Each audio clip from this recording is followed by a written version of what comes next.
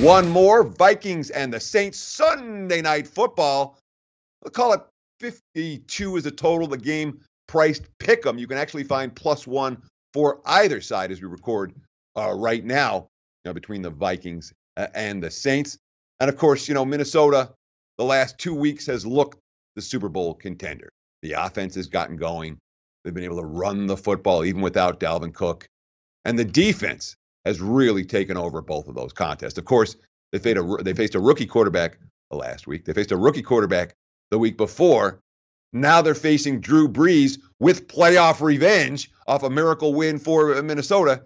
And Brees, by the way, 13 touchdowns, zero interceptions so far this season, completing 77% of his passes. Sure, he's due for an off game. Drew Brees isn't having off games right now.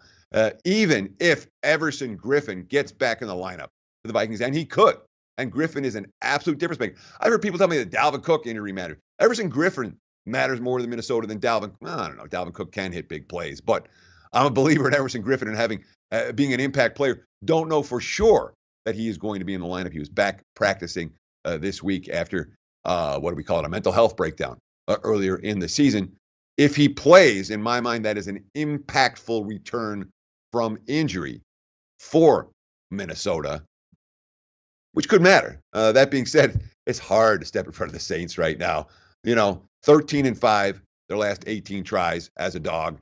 Uh, the Saints' run defense. This is one that stood out to me. Saints' run defense only giving up 3.1 yards per carry. That's nearly a full yard better than Minnesota, close to four yards a carry that the Vikings have allowed uh, on the ground. And of course, the Saints, with that balance on offense, makes Brees that much more effective. But from a defensive standpoint, I'm not sold. I don't know if I'm sold on Minnesota. Uh, sorry, on, on New Orleans as being having a defense that's of Minnesota's caliber, even though the Vikings have faced a weak defense over the last, or weak quarterbacks over the last two uh, two ball games. Looking good. I don't know. This is, you know what this game is? This game is a flat. I don't know.